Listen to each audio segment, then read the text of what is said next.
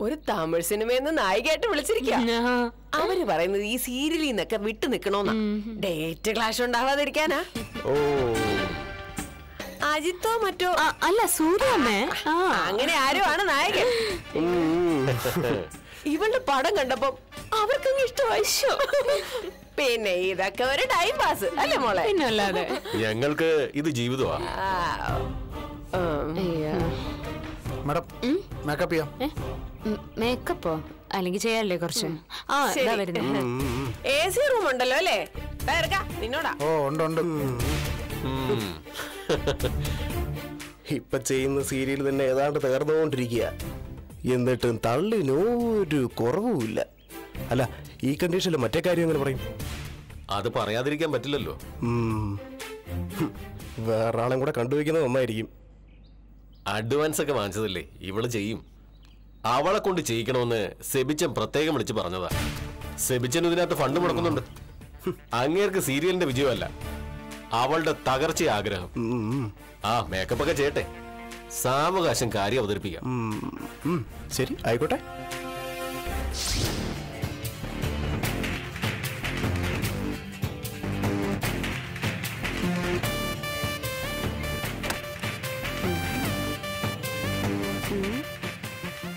നന്നായിട്ടൊക്കെ makeup ചെയ്യണ സിനിമാക്കാരൻ സിനിമാക്കാരെ മാത്രമേ ഞാൻ മേക്കപ്പ് ചെയ്തിട്ടുള്ളൂ. പിന്നെ പ്രൊഡ്യൂസറുടെ പരിചയത്തിന്റെ പുറത്ത് വന്നതാ. അത് മേക്കപ്പ് ചെയ്ത് കഴിഞ്ഞിട്ട് പറയാം. സിനിമാക്കാരെ മാത്രമേ ചെയ്യത്തുള്ളൂ. ഇവിടെ ഇവിടെ ഇവിടെ. ഇവിടെ. അതെ. ചെറിയൊരു മാറ്റമുണ്ട്. സ്ക്രിപ്റ്റ് എഴുതി വന്നപ്പോ നായികയെക്കാളും പ്രാധാന്യം നായികയുടെ ചേച്ചിക്ക. അല്ല ഇപ്പൊ ഡയറക്ടർ പറയുന്നത് നായികയുടെ ചേച്ചിയായി നയന ചെയ്യണമെന്നാ ചേച്ചിയോ? ഇവൾ കൊച്ചു പെണ്ണാ? ഓരോന്നും ഓരോന്ന് പറഞ്ഞ് വിളിച്ചു വരുത്തിയിട്ട് അവസാനം വാക്ക് മാറ്റി പറയുന്നോ? നായികയായിട്ട് അഭിനയിച്ച പ്രാധാന്യം കുറയും. സീരിയൽ പുരോഗമിക്കും തോറും നായികയാവാൻ പോകുന്നത് ചേച്ചിയാ. ഈ അനിയത്തിയും ചേച്ചിയും തമ്മിൽ എത്ര പ്രായ വ്യത്യാസം വരും? ഒരു ഒന്നൊന്നര വയസ്സ് വ്യത്യാസം അത്രേ ഉള്ളൂ. അത്രയും വേണ്ട. ഏ കഷ്ടിച്ചൂരി വയസ്സ് അത്രയും മതി. പിന്നെ അനിയത്തി എന്നെ ചേച്ചിന്നൊന്നും വിളിക്കണ്ട പേര് വിളിച്ചാ മതി. അല്ല എന്നാ പിന്നെ ഇരട്ട പറ്റതാക്കി കൂടെ ആ. അതിന് കഴിയില്ല. ആ? പിന്നെ ചേച്ചിയായിട്ട് അഭിനയിക്കണമെങ്കിൽ ഒരു പത്ത് രണ്ടായിരം രൂപ കൂടുതൽ തരേണ്ടി വരും. ഇപ്പൊ തന്നെ കൂടുതലല്ലേ? അയ്യോ വേണമെങ്കിൽ മതി. ആ എന്നാ പിന്നെ ആയിക്കോട്ടെ. ആ. ഈ സീരിയൽ നയന വേണം. എനിക്ക് അത്രേ ഉള്ളൂ. ശരി. അങ്ങനെ വഴിക്കുക അല്ല ഇനി എന്റെ അനിയത്തിയായിട്ട് അഭിനയിക്കുന്നത് ഏത് കഴുതയാണാവോ? ഏത് കഴുതയായാലും പുതുമുഖമായിരിക്കും. ആയിരിക്കും തുടക്കത്തിലെ അവരുടെ ആത്മവിശ്വാസം തല്ലിക്കെടുത്തിയേക്കണം. അത് ഞാൻ ഏറ്റു ഉം. ആടാ ചേർക്ക അതിനെ മേക്കപ്പ് ചെയ്തായിരുന്നോ? എങ്ങനെയുണ്ട്? തരക്കേടില്ല. ആരും കുറ്റം പറയത്തില്ല. കുറ്റം പറയാതിരിക്കാൻ അവളെന്താ താൻ കെട്ടാൻ പോകുന്ന പെണ്ണോ? അതെ സീരിയൽ അഭിനയിക്കാനുള്ള സൗന്ദര്യം ഉണ്ടോ എന്നാ ചോദിച്ചത്. ഉള്ളതുകൊണ്ടാണല്ലോ വിളിച്ചത്. അതെ മോക്ക് കണ്ണ് കിട്ടാതിരിക്കാൻ ഒരുത്തി. അത്രയും വിചാരിച്ചാ മതി. ആ എല്ലാം ഉം. അവിടെ ചെയ്ത ഇനി ഇവിടെ ചെയ്യ. ഒന്നും കുറയ്ക്കണ്ട കേട്ടോ. എന്തായി? ഒരുമാതിരി കാര്യങ്ങൾ പറഞ്ഞു ഒപ്പിച്ചു. ഞാൻ പറഞ്ഞില്ലേ വീട്ടറെ അവൾക്ക് സാമ്പത്തിക ബാധ്യതയുണ്ട്. അതുകൊണ്ട് എത്ര അമർഷം ഉണ്ടെങ്കിലും അവൾക്ക് അഭിനയിച്ചേ പറ്റൂ.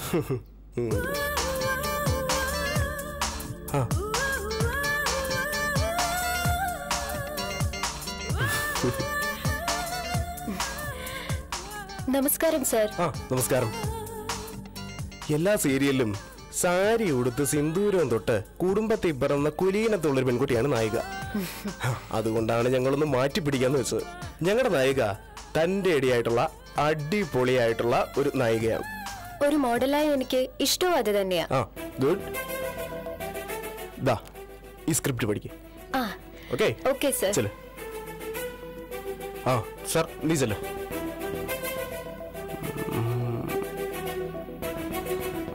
ഇന്ന് പഠിച്ച് തീരുമോ എന്തോ. ആ കാര്യം സംശയമാണ്.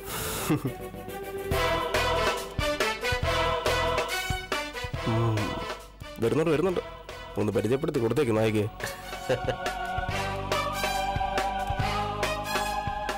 ദേ അതാണ് നായനയുടെ അനിയത്തി അഭിനയിക്കുന്ന കുട്ടി. ഇവളുടെ അനിയത്തി? കഷ്ടം. അഭിനയിച്ചാ മതിയായിരുന്നു. റീടേക്ക് എടുക്കേണ്ടി വന്നാലുണ്ടല്ലോ എന്റെ സ്വഭാവം അങ്ങ് മാറും. ആ. ആ നയന വരൂ. ചെല്ല്. അല്ലെങ്കിൽ വേണ്ട ഞാനും കൂടെ പോവാം. നവ്യ? ആ നവ്യ ഇയാളെ പരിചയമുണ്ടല്ലോ. ആരാ? ഞാൻ കണ്ടിട്ടില്ലല്ലോ. അയ്യോ ഇവളൊരു ദേവദാസ് സീരിയലിലെ നായിക കുമാരി നയന. ഞാൻ ഈ സീരിയലൊന്നും കാണാറില്ല കേട്ടോ. അയ്യോ സീരിയൽ കാണാത്തവരെ എന്തിനാ സാറേ സീരിയലിലോട്ട് വിളിക്കുന്നേ? ചുമ്മാ ഒരു ഹോബിക്ക്. ഓ ചിലർക്ക് അങ്ങനെയാ മോളെ. അവനെ ഒരു ഹോബിയാ. നവ്യ എന്ന പേര്? മോഡലാ. നവ്യ നായരൊന്നും അല്ലല്ലോ. നയന നയൻതാരൊന്നും അല്ലല്ലോ. തുടങ്ങുന്നതിന് മുമ്പ് തന്നെ കല്ലുകടിയാണല്ലോ പ്രൊഡ്യൂസർ സാറേ. ഇതൊന്നും ഇവിടെ പറ്റില്ല. കേരളം മുഴുവൻ ആരാധകരുള്ള എന്നെ പോലൊരു നടിയോട് ഇവൾ അഹങ്കാരത്തോടെയാ സംസാരിക്കുന്നത് ദേ ചേച്ചി എനിക്ക് അഭിനയിക്കാൻ വലിയ താല്പര്യം ഉണ്ടായിട്ട് വന്നോന്നല്ല ഇതുകൊണ്ട് ജീവിക്കേണ്ട ഒരു കാര്യവുമില്ല അതുകൊണ്ട് ഇങ്ങോട്ട് മാന്യത കാണിച്ചാൽ അങ്ങോട്ടും ഉണ്ടാവും. അല്ലെങ്കിൽ അതിനപ്പുറമായിരിക്കും ഞാൻ. അത് നിന്നെ കണ്ടാ തന്നെ അറിയാടി. അയ്യോ ദേവി ഇത് സീനിൽ മാത്രം നിങ്ങൾ സംസാരിച്ചാ മതി. അല്ലാതെ ഏറ്റുമുട്ടിയ ഉള്ള വില പോവും. ഞങ്ങളുടെ അല്ല നിങ്ങളുടെയൊക്കെ. ആ നടക്ക് നടക്ക്. ഇരിക്കണോണ്ട് കീറിയ പാന്റ് വെറും ലോക്കലാ. ഓ കണ്ടാ അറിയാം ഒരു കാര്യം സമ്മതിച്ചു കൊടുത്തേക്കരുത്. ഒന്നും സമ്മതിക്കില്ല. മാഡം നായകനൊന്ന് കാണണമെന്ന് പറഞ്ഞു. ആ കണ്ടോട്ടെ. അല്ല അങ്ങോട്ടൊന്ന് വന്ന്. എന്തോ നടക്ക നീ പറയുന്നേ. അവനെ എന്റെ മോൾ അങ്ങോട്ട് ചെന്ന് കാണാനോ? ആ. ഒന്ന് ചെന്ന് കണ്ടുകളാ ആരാ അഹങ്കാരി? നോക്കാം മോളെ. നാല് വർത്തമാനം പറയണം. അയ്യോ കുഴപ്പിക്കരുത്. ഇയാളാ ഇപ്പൊ കുഴപ്പിക്കുന്നത്? മനസ്സിലായോ? വിളിച്ചപ്പോ പറഞ്ഞൊന്നും അല്ലല്ലോ ഇപ്പൊ നടക്കുന്നത്. മാഡം പ്ലീസ് ഇതൊന്ന് വരണം. ശരി നടക്ക് നടക്ക്. ആരാ എന്നെ ഇങ്ങോട്ട് കാണാൻ വരാൻ വയ്യാത്ത നായകനെന്നൊന്ന് അറിയണമല്ലോ? അല്ലേലും ഇപ്പോഴത്തെ പിള്ളേരൊക്കെ നിഷേധികളാ. അതൊക്കെ കൈ വെച്ചാ മതി. നടക്കു ചേട്ടാ. വാമേ അമ്മേ. ഇതൊരു നടക്കി പോകൂല. പ്രയാസം. അതെ പ്രയാസോ? നീ എന്താ ഇവിടെ? ഞാനിപ്പോ സാറിന്റെ മാനേജർ മാനേജറാ?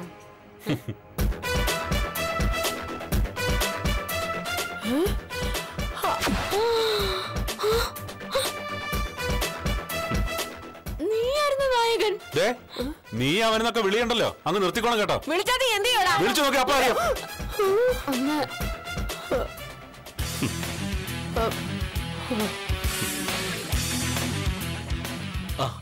എന്താ?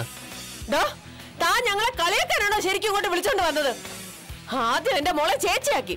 ഇപ്പതേ ദേ ഇവനാ നായകനെന്ന് പറയുന്നു. സാർ എപ്പോഴാ സാർ ഇവളെ വിളിച്ചത്?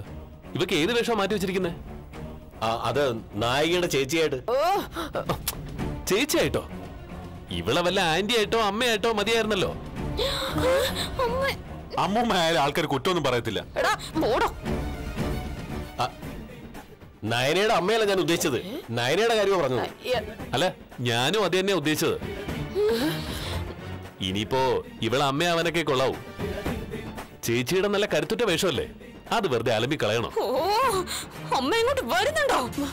വെച്ചിട്ടുണ്ടോ തനിക്ക്? നിങ്ങളെ ഞാൻ വലിച്ചു കീറും കേട്ടോ. ഇത് മനഃപൂർവം എന്റെ മുഖത്ത് കരി വാരി തേക്കാൻ വേണ്ടി ആ കാലം ചെയ്യിച്ചതാ. ഇനി ഒന്നും ചിന്തിക്കാനില്ല ഞാൻ ഇവിടുന്ന് പോവാ. ഒന്നോടൊന്ന് ആലോചിച്ചിട്ട് മതി. ഞാൻ ആന്റി അമ്മയാവണോ അതോ അമ്മമ്മയാവണോ ചേച്ചിയുടെ വേഷം തന്നെ നിനക്ക് കിട്ടും. ഇന്ന് കരുതി അവൻ നായകനാവുന്ന സീരിയലിൽ ഞാൻ അഭിനയിക്കണോ? പറ്റൂലമ്മേ പറ്റൂല.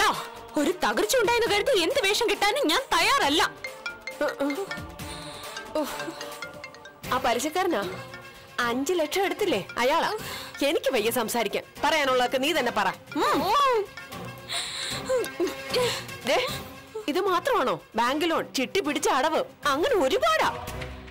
അവരൊക്കെ വീട്ടുമുറ്റത്ത് വന്ന് നിലവിളിക്കുമ്പോ ഇതിലും നാണക്കേടായിരിക്കും മോളെ. ദേ, ഇത് വേണ്ടാന്ന് വെച്ചാ ഇതുപോലൊരു ഓഫർ ഇനി ഒരിക്കലും വരണമെന്നില്ല. എനിക്ക് വയ്യ. ഒന്ന് സമ്മതിക്ക്. അതെ. ചേച്ചിയാക്കാൻ അയാളെ കൊണ്ട് സമ്മതിപ്പിച്ചിട്ടുണ്ട്. അയാളാണ് നായകനെന്ന് നിങ്ങൾ എന്തുകൊണ്ട് നേരത്തെ എന്നോട് പറഞ്ഞില്ല? അത് നിങ്ങൾ തമ്മിൽ ഇത്ര ഇഷ്യൂ ഉണ്ടെന്ന് ഞാൻ അറിഞ്ഞില്ല. ബന്ധം പിരിഞ്ഞ ഒരുപാട് പേര് ഈ കലാരംഗത്തുണ്ട്. അവർ കണ്ടുമുട്ടാറുമുണ്ട്. അത്രേ ഞാൻ ഉദ്ദേശിച്ചുള്ളൂ. പോട്ടെ മോളെ പോട്ടെ. ഏതായാലും ചേച്ചിയുടെ വേഷം തന്നെ കിട്ടിയല്ലോ. അപ്പോ ഉറപ്പിക്കട്ടെ? ആ ഉറപ്പിച്ചു ഉറപ്പിച്ചു. എന്നാ പിന്നെ പെട്ടെന്ന് എന്നെ കോസ്റ്റ്യൂമൊക്കെ ചേഞ്ച് ചെയ്ത് വാ. ഷൂട്ടിംഗ് തുടങ്ങാം.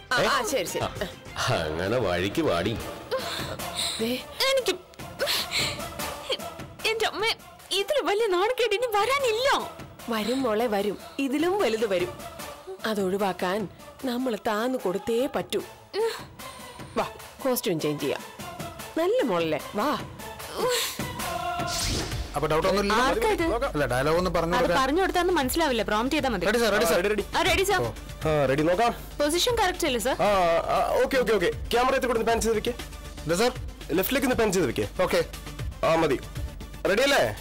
ഓക്കെ ആണ് sir start camera rolling sir action എടി എന്റെ ജീവിതം പിഴുതെറിയാൻ നോക്കുമായിരുന്നു നീ.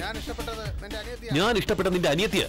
അതിനിടയിലേക്ക് നീ വലിഞ്ഞു കയറി വരുമായിരുന്നു നിന്റെ പാസ്റ്റ് എനിക്കറിയാം. നന്ദൻ മൂവ് ഫോർവേഡ് എത്ര എത്ര ആണുങ്ങളെയാടി നീ ട്രാപ്പിലാക്കിയത് സ്വന്തം അച്ഛനെ നായെ പോലെ കരുതിയിട്ട് അമ്മ എന്ന് പറയുന്നവളുടെ ഉപദേശം കേട്ട് നല്ല നല്ല കുടുംബത്തിലെ പയ്യന്മാരെ പറഞ്ഞു മയക്കി. റിയാക്ഷൻ അവരുടെ കയ്യിലുള്ളതെല്ലാം പിടിച്ചു വാങ്ങി ജീവിക്കുന്ന പെണ്ണല്ലേടി നീ.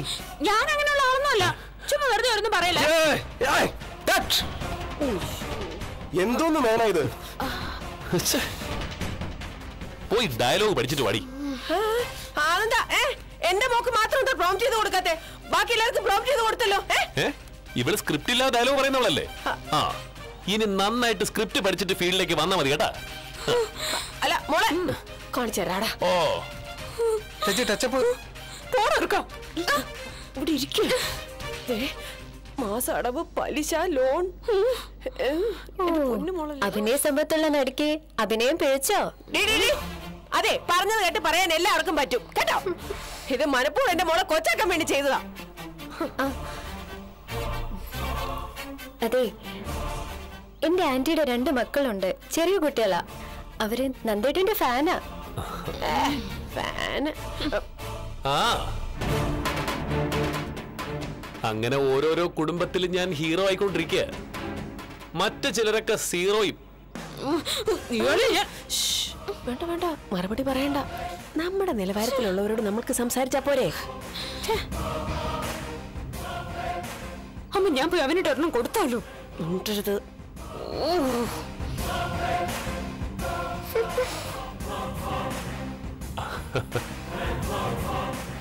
ഇത് കണ്ടോ? നൈസ് നന്ദേട്ടനെടുത്താ. നന്നായിട്ടുണ്ടല്ലേ ദാ ഡയലോഗ് മുഴുവൻ കാണാൻ പഠിക്കാൻ പറഞ്ഞു. പെട്ടെന്ന് കാണാം. ഇവനെ ഞാൻ പഠിച്ചോ പഠിച്ചോ. നല്ല കുട്ടിയല്ലേ പഠിക്കും. സൂപ്പർ ആയിരിക്കുന്നത് എന്തായിട്ടാ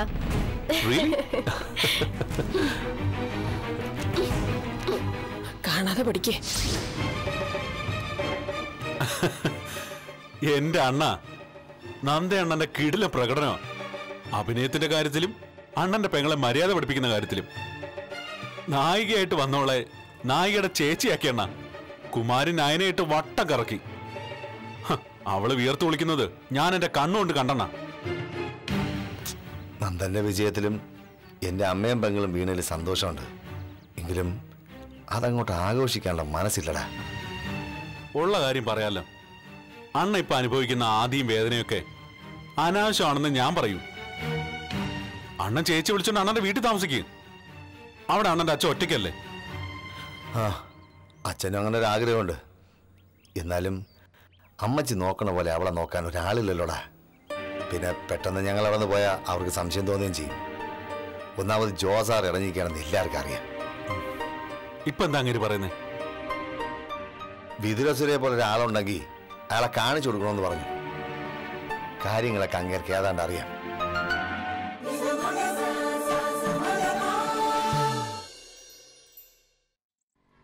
ചരസാരം മരിക്കാത്തതിൽ നിരാശ ഉണ്ടെന്ന് തോന്നുന്നു. ഇങ്ങനൊരവസ്ഥയിൽ നീ പറയണ നല്ല കാര്യങ്ങളൊക്കെ കേട്ട് സന്തോഷിക്കാൻ പറ്റണില്ല.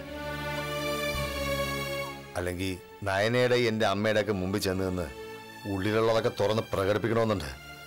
നല്ല നാല് വർത്താനം പറയണമെന്നുണ്ട്. അങ്ങേര് പറഞ്ഞില്ലയോ? വിതുരസുരെ പോലെ ഒരാളുണ്ടെങ്കിൽ അങ്ങ് കാട്ടിക്കൊടുക്കാൻ അതങ്ങ് ചെയ്യണം. എനിക്കിവിടെ ആരുടെ കൂറ് വേണ്ടത്? ശരസാറിന്റെ ഭാഗത്താണ് ന്യായം. എങ്കിലും അമ്മച്ചിയും ജോസാറിനെ ഒറ്റുകൊടുക്കാൻ പറ്റുമോ അണ്ണന്റെ മനസ്സൊന്ന് തണുക്കട്ടെ എന്ന് കരുതിയ. ലൊക്കേഷനിലെ വിശേഷങ്ങളൊക്കെ ഒന്ന് പറഞ്ഞത്. അപ്പാണ് എന്നെ വിഷമിപ്പിച്ചു വിടുക ഈ തലവേദന തീരാതെ ഇതിനൊരു പരിഹാരം കാണാതെ ഇനി എന്തോന്ന് പറഞ്ഞിട്ട് കാര്യമില്ല കൂട്ടാ. പിന്നെ ജോസാറിനോട് വിവരം പറഞ്ഞില്ലെങ്കിലും ഉടനെ രഹനയോടും ലീന ടീച്ചറിന്റെ അടുത്തൊക്കെ കാര്യങ്ങൾ അവതരിപ്പിക്കും. അവരുടെ സംഭവങ്ങൾ അറിയട്ടെ. എന്നിട്ട് എല്ലാവരുടെ കൂട്ടായിട്ടൊരു തീരുമാനം എടുക്കട്ടെ. ശരസാറിന്റെ അമ്മയുടെ കരച്ചിൽ കണ്ടു കഴിഞ്ഞാൽ ഏത് മനുഷ്യനെ തകർന്നു പോകൂടാ.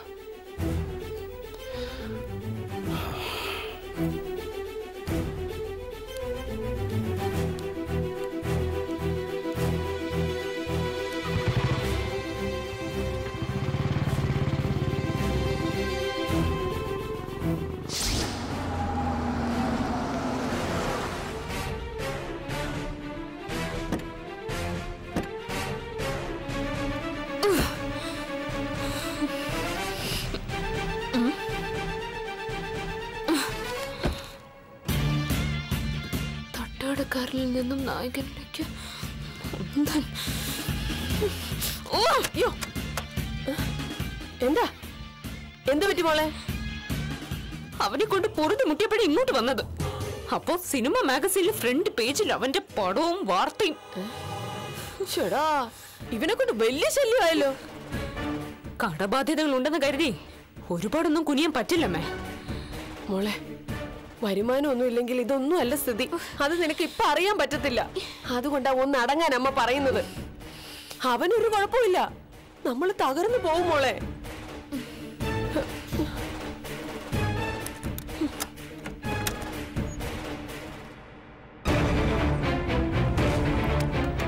ഇതിപ്പോ വല്ലാത്തൊരു പ്രതിസന്ധി ആയല്ലോ അമ്മ. ആ പ്രതിസന്ധിയെ തരണം ചെയ്യുന്നതാണ് നമ്മുടെ മിടുക്ക്. ഏതെല്ലാം ഘട്ടത്തിലൂടെ കടന്നു പോയവരാ നമ്മൾ? പതറരുത്. നയത്തിൽ നിൽക്കണം. അവനൊരു തകർച്ച ഉണ്ടാവുന്നത് വരെ. അവൻ മനഃപൂർവം എന്നെ ആ സീരിയലിൽ വിളിപ്പിച്ചതാ. ഇതുപോലുള്ള സീനുകൾ ഉണ്ടാക്കാൻ. ആയിക്കോട്ടെ. നമ്മളത് കണ്ടില്ല കേട്ടില്ല എന്ന് നടിച്ചു പോണം. പറഞ്ഞ കാശ് കിട്ടുന്നുണ്ടല്ലോ. അതുപോലെ നമുക്ക്. എന്റെ സമാധാനം പോയല്ലോ. ബാങ്കുകാരും പലിശക്കാരും വീട്ടിൽ കയറി ഇറങ്ങിയാലേ സമാധാനം മാത്രമല്ല ഉള്ള മാനവും പോവും. അതുകൊണ്ട് ആ ഓർമ്മ എപ്പോഴും വേണം.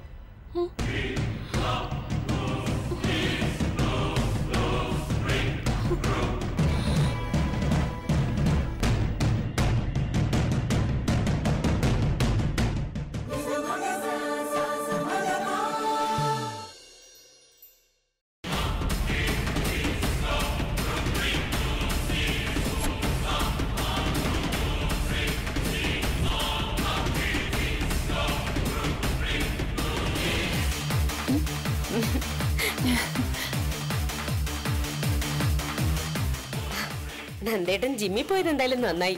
അതുകൊണ്ട് ഈ വേഷം നന്ദേട്ടനെ പോലെ മറ്റൊരാൾക്കും ചെയ്യാൻ പറ്റത്തില്ല.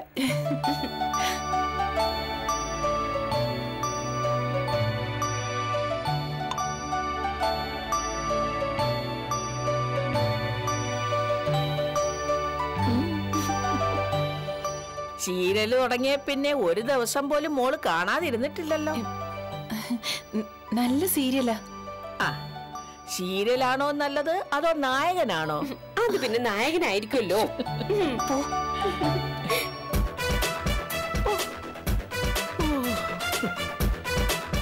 നാളെ ഇവൻ പോരിനിറങ്ങും. നന്മയും തിന്മയും തമ്മിലുള്ള യുദ്ധം തുടങ്ങും. വിജയം അസുരന്മാർക്കായിരിക്കില്ല. ഈ ദേവന് തന്നെ ആയിരിക്കും. അല്ലെങ്കിലും വിജയൻ ദേവൻ തന്നെ ആണല്ലോ. കൂടെ ഉണ്ടായിരുന്ന ഒരു വിഷത്തെ ശീരലി കാണുന്നതിനേക്കാൾ നന്നായിട്ടല്ലേ ഒഴിവാക്കി കളഞ്ഞത്? എന്തൊന്നും മിണ്ടാത്ത. കുറ്റങ്ങൾ എന്തെങ്കിലും ഉണ്ടെങ്കിൽ ഫോൺ വിളിച്ചു തരാം. ജീവിതത്തിൽ നായികയാകാൻ പോകുന്ന ആൾ തന്നെ പറഞ്ഞു. നീ ഒന്ന് ചുമ്മാതിരിക്കണ്ട രഹന. അങ്ങനെ രഹന മോൾ കേക്കാൻ പാടില്ലാത്തൊന്നും പറഞ്ഞില്ലല്ലോ. പറയേണ്ടതല്ലേ പറഞ്ഞുള്ളൂ. നിങ്ങൾ തമ്മി കൂടി ചേരേണ്ടവരാ അങ്ങനെ ആലോചന വന്നപ്പോ തന്നെ നോക്ക് നന്ദമ്മവും കേറിപ്പോയ പോക്ക്. ഇനി ഇപ്പൊ നിങ്ങൾ ഒന്നിച്ചു കഴിഞ്ഞാ ഇതിനപ്പുറമായിരിക്കും. എങ്കിൽ സീരിയലല്ല നന്ദമ്മോ സിനിമയിലെ സൂപ്പർ സ്റ്റാർ ആകും അടുത്ത ഓണത്തിനും പെരുന്നാളിനും ഒക്കെ രണ്ടാളും ഒന്നിച്ചു വേണം. ഒന്നിച്ചു വേണോന്ന് പറഞ്ഞതേ വെറുതെ ഒന്നിച്ചിരിക്കണോന്നല്ല കെട്ടിയോനും കെട്ടിയോളും ആയിട്ടിരിക്കണോന്ന്. ഇപ്പോ പഴയതുപോലെ ദേഷ്യമൊന്നും ഇല്ല ദേഷ്യപ്പെട്ടിട്ടൊന്നും കാര്യമില്ലല്ലോ. മുഖം കറുത്താലും പറച്ചിലും നിർത്തില്ലല്ലോ. ഇനി മോക്ക് പൊന്നുമോളെ വിട്ടുകൊടുക്കാൻ പറ്റുമോ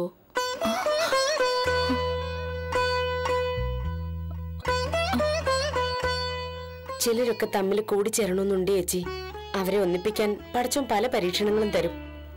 എന്നാൽ അവസാനം ചേരേണ്ടവർ തമ്മിൽ ചേരുകയും ചെയ്യും. അതുകൊണ്ട് എല്ലാ ദിവസവും സീരിയൽ കണ്ടാൽ മാത്രം പോരാ. നായകനെ വിളിക്കുകയും വേണം. നിക്കാകിന് മുമ്പ് നിങ്ങൾ തമ്മിൽ ഒന്ന് പ്രേമിക്ക്. ശ്ശോ, ഈ ഉമ്മുമ്മയുടെ ഒരു കാര്യം.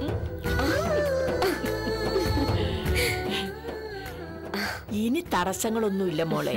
അവരുടെ മനസ്സുകൾ തമ്മിൽ അടുത്തോണ്ടിരിക്കുക ഈ ഉമ്മുമാന്റെ ഒരു കാര്യം. അടി ആ. എന്റെ അമ്മോ.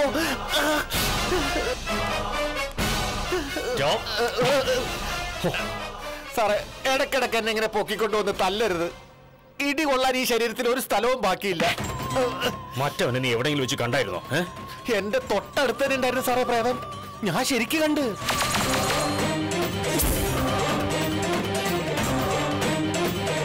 ശരത് സാറിനെ പോലൊരാൾ ജീവനോടുണ്ടായാൽ രോഹിണി എല്ലാം മറന്ന് ലച്ചുമോളിന്റെ അച്ഛനുമായി ഒന്നിക്കുമെന്നുള്ള കാര്യം ഉറപ്പാ. അവൻ ജീവനോടെ ഇല്ലാന്ന് ഞാൻ എന്നെ വിശ്വസിപ്പിച്ചാ പോരെ.